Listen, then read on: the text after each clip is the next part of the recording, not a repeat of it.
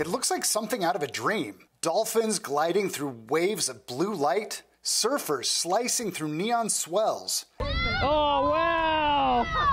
And children splashing in flashing puddles along the shore.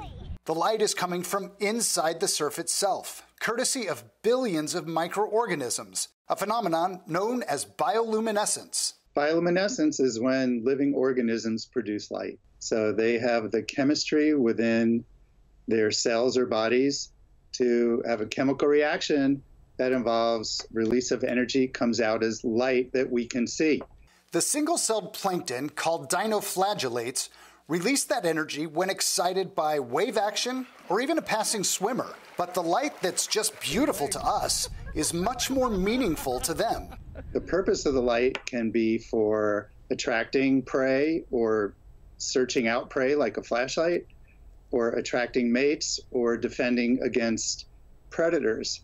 Bioluminescence or signaling by light is a really effective way of communicating. And of course, in shallow waters like along the coast, it's something that occurs at night.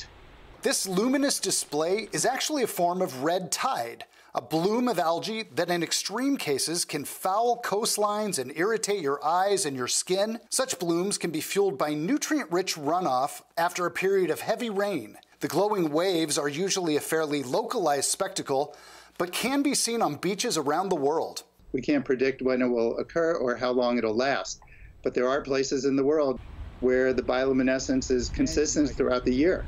There are several places in the Caribbean called bioluminescent bays where you can go as a tourist and go kayaking at night and experience bioluminescence. And as someone who's experienced this natural wonder firsthand, it is a memory that will stay with you long after the waves have calmed and the light has faded. Rick Reichmuth, Fox Weather.